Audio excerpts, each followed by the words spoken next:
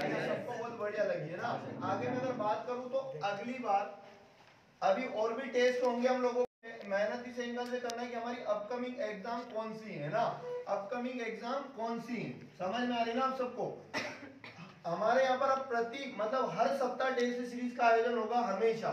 जो भी upcoming exam रहेगा, उस एग्ज़ाम का टेस्ट सीरीज़ हर सप्ताह यहाँ पर होगा। तो कोई भी आपका मित्र, दोस्त अगर जुड़ना चाहे तो पेड, टेस्ट सीरीज़ से भी हमारी जुड़ सकते हैं आप लोग। आगे में अगर आप लोगों से बात करूँ तो एक सप्ताह तक इस टेस्ट सीरीज़ का आप एनालिसिस करिए। कोई सा डाउट हो, कोई सा क्वेश्चन आपसे नहीं बना, क्यों नहीं बना, इस पर एनालिसिस करना। यही टेस्ट सीरीज़ फ़ायदेमंद इसीलिए होती है। समझ में आया? तो अब मुझे जल्दी से ये बताइए आप लोग कि आपको एक से लेकर दस तक इन क्वेश्चनों में कुछ दिक्कत है ये बताओ। कोई गलत लग रहा है क्वेश्चन? गलत लग रहा है क्या? नहीं लग रहा है है ना? जीएस का है बाकी आप लोग डाउट बाद में पूछ लेना। जीएस की मैथ रीजनिंग का भी पूछ लीजिएगा है ना? तो आप मुझे बताइए गलत तो नहीं लग रहा किसी को? अब बताना ग्यारह से लेकर बीस। कोई प्रॉब्लम ग्यारह से लेकर बीस बोलो कौन सा क्वेश्चन बता दूँ? क्वेश्चन नंबर 19 भी पूछ रहे तो पहले देख लो। इधर ध्यान पूर्वक समझ लो और अच्छे से समझ लो क्वेश्चन नंबर 19 क्या था क्या आपको पढ़ाया गया है ना? बिल्कुल जो पढ़ाया गया सेम उसी बेस्ड था सारा सिस्टम ठीक है? तो क्वेश्चन नंबर 19 को सभी लोगों को ध्यान पूर्वक देखना है और समझने की कोशिश करना है। क्वेश्चन नंबर 19 में लिखा है कथन और निष्कर्ष। आप सभी जानते हैं है ना? कथन लिखा है आम मीठा है। मतलब जो आम होगा समझना। आम जो रहेगा वो क्या है? मीठा। इसका मतलब ये किसके अंदर रहना चाहिए? मीठा। के। है ना? डायग्राम मेथड से हम इसे सोल्व करते तो आम क्या है? मीठा। तो यहाँ पर आम क्या हो गया? मीठा। अब सारे आम मतलब आम क्या है? मीठे।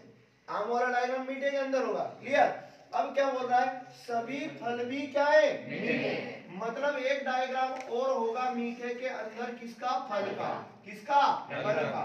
ये कहा ना कि जो सारे फल हैं वो भी क्या है? मीठे। बात समझ में आ रही? ठीक है? तो यहाँ इस प्रकार से डायग्राम बनना था आप लोगों का। अब देखो फल और आम के बीच कथन में कुछ भी यहाँ पर इन दोनों का संबंध नहीं बताया है। क्लियर तो ये मैंने जब आप लोगों को पढ़ाया गया था यहाँ पर तब बताया गया था निष्कर्ष पढ़ते आम एक फल है क्या मुझे बताओ आम का संबंध फल से दिख रहा है क्या डायग्राम में? नहीं दिख नहीं दिख रहा। तो कथन फ़र्स्ट क्या होगा? गलत होगा। क्लियर अब यहाँ बोला जा रहा है सभी मीठी चीज़ें फल हैं। क्या जो बताओ सारी मीठी चीज़ें हैं ये फल के अंदर हैं क्या? नहीं है। नहीं है। मतलब भैया निष्कर्ष दो भी क्या होगा? रॉन्ग होगा। इस प्रकार इसका जो राइट आंसर था ना ही फ़र्स्ट ना ही सेकंड सब कुछ पढ़ाया गया चीज़ें है ना? अगला बोलो अब मुझे बीसवा भी बताना तो सुन लो। सभी नीति कानून है। यहाँ बोला देखो, अब अगला क्वेश्चन कह रहा है कि नीति। सभी नीति क्या है? कानून। मतलब यहाँ नीति जो होगी, किसके अंदर होगी? कानून के अंदर। ये मैं आपको पढ़ा चुका था, जिन्होंने नहीं पढ़ा, फिर पढ़ा दिया जाएगा। सभी नीति कानून है। कोई कानून नियम नहीं है। मतलब कानून का संबंध किससे नेगेटिव है? नियम से कोई भी कानून क्या नहीं है? नियम। तो कानून का संबंध किससे नेगेटिव है? नियम से। क्लियर तो जब नियम से कानून का संबंध नेगेटिव है मतलब कानून का संबंध नीति से भी क्या होगा? नेगेटिव होगा। क्लियर ना? ये जब पढ़ाया था वहाँ समझाया था क्यों होता है? आगे निष्कर्ष चलते हैं। कोई नीति नियम नहीं है। यहाँ आप लोगों का निष्कर्ष ये कह रहा है कि कोई नीति क्या नहीं है? नियम। तो आपने जब यहाँ चेक किया कि नीति का संबंध जब कानून से नेगेटिव है तो नियम के साथ भी क्या है? नेगेटिव और डेफिनेटली ये बात क्या है? सत्य। और आपका निष्कर्ष फ़र्स्ट भी इस बात को क्या कह रहा है कि भैया नियम और नीति क्या है? नेगेटिव तो पहला क्या होगा? सही होगा। क्या होगा? अगला मैं अगर आप लोगों से बात करूँ निष्कर्ष सेकंड तो कोई नियम कानून नहीं है। कोई नियम क्या नहीं है? कानून। निष्कर्ष सेकंड भी आपसे रहा है कि नियम और कानून दोनों ही क्या है? नेगेटिव है। क्या है? नेगेटिव तो इस प्रकार दूसरा भी क्या होगा? सत्य होगा। क्या होगा? क्योंकि रियल में भी नेगेटिव और निष्कर्ष भी नेगेटिव होने की बात कर रहे हैं, इसलिए निष्कर्ष फ़र्स्ट और सेकंड दोनों अनुसरण करते हैं। इतना क्लियर है सबको? आगे बढ़ जाए हम लोग। ठीक है। अब बताना जल्दी से 21 से लेकर आप लोग मुझे 21 से लेकर तीस तक बताओ। 21 से लेकर 30 तक कौन से में डाउट है? तीस तक आपके कंप्लीट हो गए क्या? थर्टी नंबर देखिए जल्दी से। कुछ भी नहीं था बहुत सिंपल था। क्वेश्चन नंबर थर्टी को देखिए। आठ सौ छत्तीस। आवाज़ नहीं करना है इधर बस आपको समझना है। आठ सौ छत्तीस माइनस दो सौ छियालीस। और भागित कितना है? बयासी। फिर क्या लिखा है? जल्दी बताओ। डॉलर लगाए। क्या लगाए? डॉलर। सिक्सटी सिक्स माइनस कितना? दो सौ चौतीस बटे में यानी भागित कितना? तेरह। बराबर कितना? आठ सौ कितना समझना मेरी बात को ध्यान पूर्वक अच्छे से है ना? यहाँ पर बयासी इसको काटेंगे है ना? तो ये तीन बार कैंसिल आउट होगा। कितनी बार? तो यहाँ बनेगा आठ सौ छत्तीस माइनस तीन और डॉलर क्या? सिक्सटी सिक्स माइनस क्या? तेरह से इधर काटेंगे। तेरह एकम तेरह और यहाँ पर बचेगा दस। तेरह आठ एक सौ चार। अठारह बार ये कैंसिल आउट हुआ। क्लियर? और बराबर कितना आया? आठ आठ एक। क्लियर? आगे समझते हम लोग क्या है ना? तो यहाँ पर समझो अब हमें कहीं ना कहीं क्वेश्चन क्या कह रहा है कि भाई आप लोगों को क्या बताना है?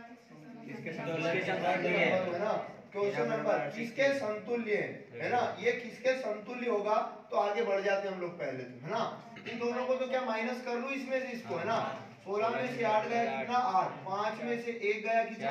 चार और यहाँ आ गया आठ आठ एक। क्लियर आगे समझना। यहाँ पर क्या? होगा एक माइनस किया कितना? क्लियर इतना? आठ सौ तैतीस। अब सुनो इधर क्या है? आठ सौ इक्यासी इधर भी अगर एट एट वन बनाना हो आठ सौ इक्यासी बनाना है फिर डॉलर के स्थान पर क्या रखूँ?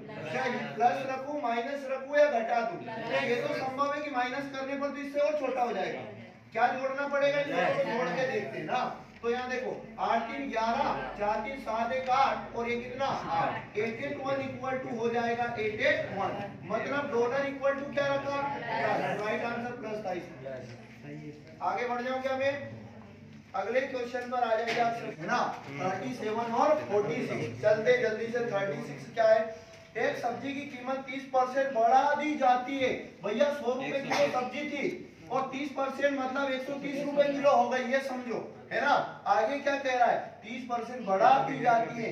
यदि व्यय को मूल स्तर पर रखना है मतलब वापस पुनः वही मूल्य लाना है कितना कम करना पड़ेगा? तीस। प्रतिशत में बताओ तो सौ का गुणा किस पर कमी होगी? तेरह पर। मतलब एक सौ तीस पर। तो ये आ जाएगा परसेंट में क्या? कमी का प्रतिशत। क्या आ जाएगा? कमी का प्रतिशत बराबर। ज़ीरो से ज़ीरो हाँ तीन गुणा कितना होता है? तीन सौ तेरह। इधर आ जाएगा कमी का प्रतिशत बराबर। है ना? डेढ़ दूनी छब्बीस। है ना? कितना बचा? कितना बचा? उनचालीस एक बटे तेरह प्रतिशत की वापस कमी करना पड़ेगा। ऑप्शन था क्या? तेईस तो था। ना? पॉइंट के अरे बाद में था। तेईस तो था ना? तो वही आपका उत्तर था। आगे बढ़ जाऊँ मैं। ठीक है अगला पढ़ते हैं जल्दी से। अब छियालीस बोला था मेरे को स्कूल में देख लेते। एबीसी की औसत ऊंचाई 148 सेंटीमीटर है। इधर देखो मैं शॉर्ट में बता रहा हूँ थोड़ा है ना? एबीसी की औसत ऊंचाई 100 100 कितना 148 ध्यान से सुनो, तीन लोगों की औसत बताया 148 अगर तीन का मल्टीप्लाई करता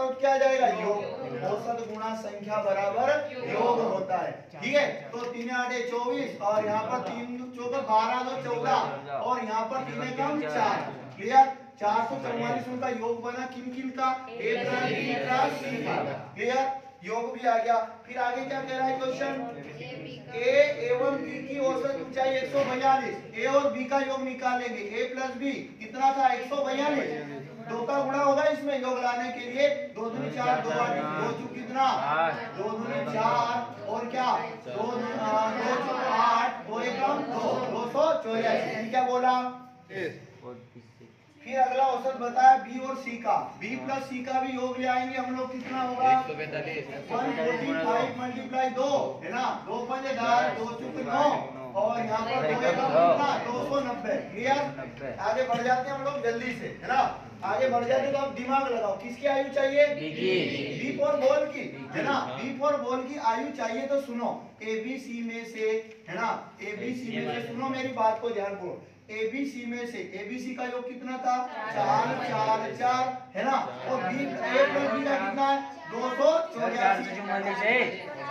हाँ चार सौ चौवालीस में से अगर मैं दो सौ चौरासी घटा देता हूँ ए और बी को घटा दिया तो बचा कौन? सी कौन बचा? तो भैया यहाँ डायरेक्ट अभी आ जाएगा क्या? सी पहले सी लाओ। चार में चार गया ज़ीरो चौदह में से आठ गया छह यहाँ तीन में दो गया एक बराबर सी इक्वल टू कितना ज़ीरो आगे बढ़ता हूँ सुनो। हमें किसकी चाहिए? मतलब आप समझो ए और बी की यहाँ देखो बी और सी के योग में से सी का योग गया सी का चला जाएगा तो किसका बचेगा? तो बी इक्वल टू दो सौ नब्बे बट माइनस कितना? एक सौ साठ तो यहाँ ज़ीरो और नौ में से छह गया तीन। यहाँ कितना? एक एक सौ तीस इक्वल टू बी ऑप्शन था? ऑप्शन था? ठीक है। तो फिर आज की क्लास हम इतना ही रखेंगे।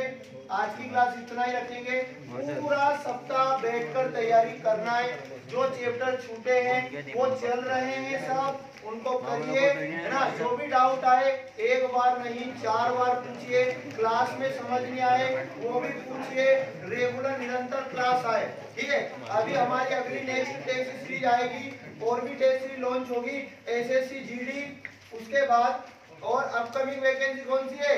अपकमिंग है, RRB group D, RRB NTPC, अगर किसी का प्री निकलता है तो मेंस के लिए आप टेस्ट सीरीज़ यहाँ पर आपको मिलेगी, है ना? इस प्रकार जितनी भी अपकमिंग वैकेंसी आए, है ना? जितनी भी अपकमिंग वैकेंसी है सबकी यहाँ पर आप लोगों को बेहतर तैयारी हो पाएगी, ठीक है? तो पुनः हम लोग कल से सारी क्लासों की शुरुआत करेंगे, तब तक आप लोग बढ़िया से वापस कल के लिए क्या हो जाइए, एंट्री हो जाइए, ठीक है? थैंक यू धन्यवाद।